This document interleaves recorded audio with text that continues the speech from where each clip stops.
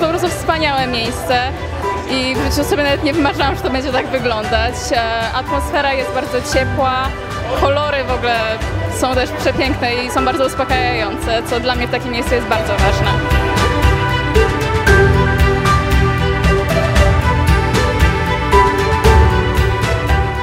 Pomysł zrodził się, jak e, zamieszkaliśmy tutaj i okazało się, że nie mam po południu gdzie jechać.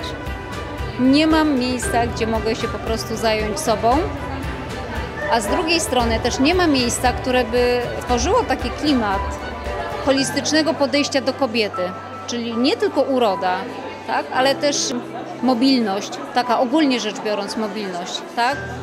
Czyli to, żeby ona, nie wiem, po, trochę poćwiczyła, ale miała też miejsce na relaks taki tylko dla siebie, żeby miała miejsce, gdzie się poradzi kogoś, y, czy na przykład dobrze się odżywia, albo czy y, to, co robi, czy jest y, dla niej odpowiednie, tak?